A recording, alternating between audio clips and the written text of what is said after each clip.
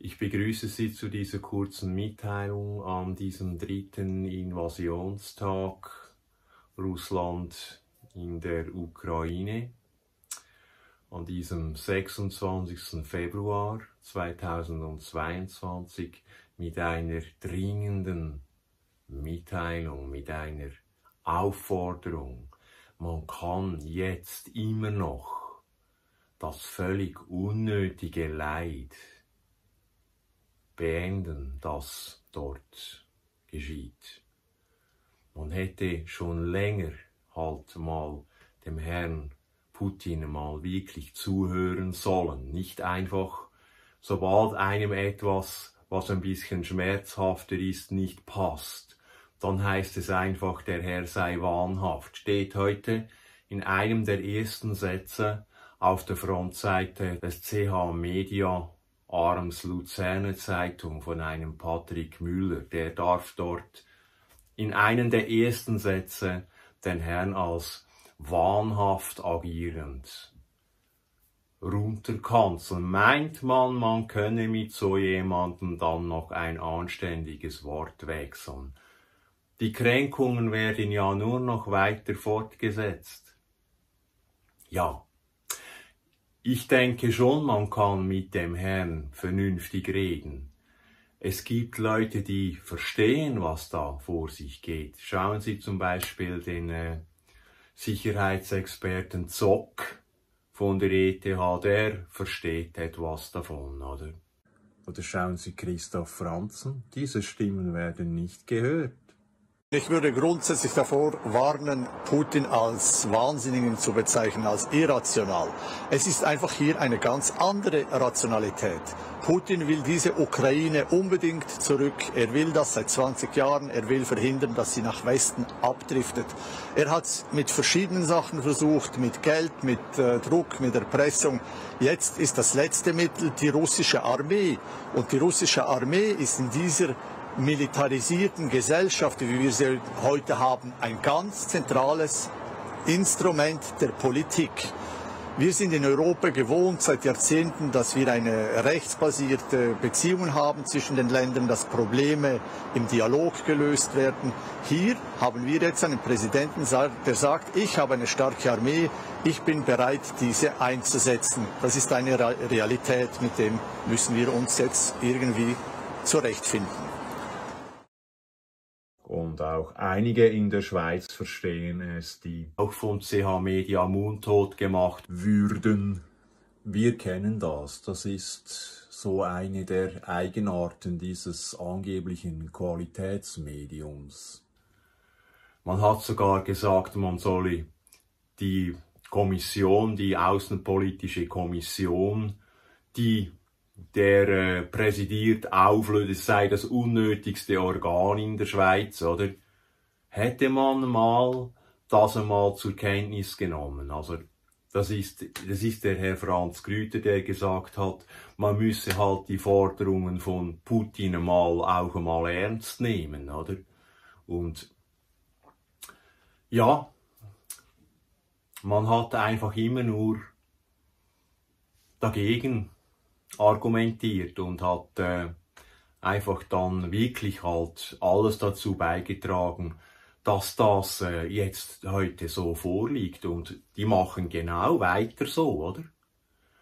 Jetzt äh, gut, ich meine, was Amerika macht äh, mit diesen Sanktionen, ähm, ich glaube, es, das muss sich dann anschließend dann noch behandeln, oder? Ich glaube schon, dass es einfach richtig ist, diese großen Machtblöcke jetzt einmal, äh, ja, ich, ich mach's jetzt gerade, oder?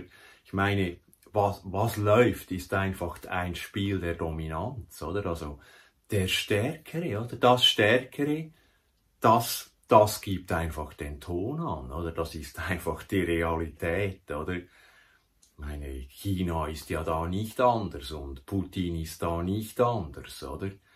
Und äh, da ist, äh, denke auch der Westen grundsätzlich nicht anders, obwohl die intern natürlich andere, andere Spielregeln haben. Das muss ich Ihnen ja nicht erklären, oder? Aber das Stärkere gibt einfach den Ton an, oder? Und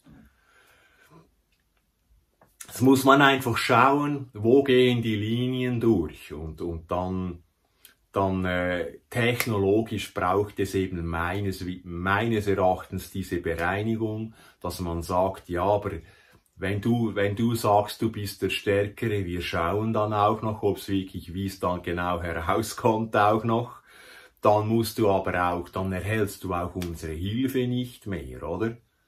Das heißt, äh, die entscheidenden Technologien darf man natürlich dort nicht mehr hinein vermitteln. Das gehört dann schon auch dazu, sonst ist man dann wirklich selber auch dumm. Ich denke, diese Bereinigung, die läuft von Amerika her. Das ist, glaube ich, sehr sinnvoll, oder? Aber wenn ich jetzt wieder zurückkomme auf die Ukraine im Moment, was läuft jetzt dort, ist einfach ein Schauerspiel, das ein kleiner Schwacher meint.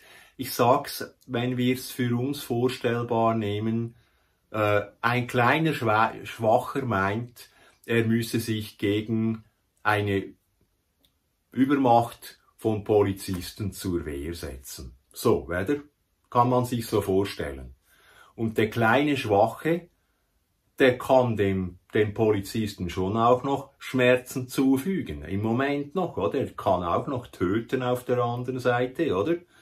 Aber der, der Starke wird sich durchsetzen. Er hat eigentlich, kann sich vorstellen, wie der Auftrag der Polizei, diesen Zugriff äh, zu, zu, also auszuführen und den Herrn dann bei uns wär's vors Gericht zu stellen, oder?